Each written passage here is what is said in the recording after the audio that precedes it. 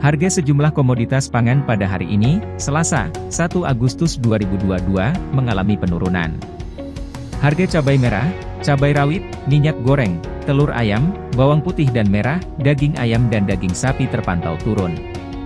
Berdasarkan data dari Pusat Informasi Harga Pangan Strategis Nasional, PIPS, harga cabai merah besar per 1 Agustus 2022, turun 3,45 persen, atau Rp2.550 menjadi Rp71.350 per kilogram, kilogram.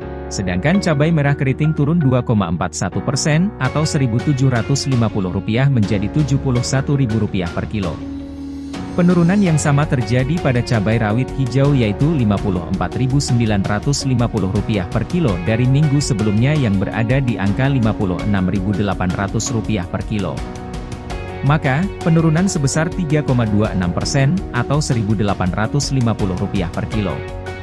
Sementara itu, harga cabai rawit merah turun 2,12 persen, atau Rp1.550 per kilo menjadi Rp71.450 per kilo, di minggu sebelumnya dihargai Rp73.000 per kilo.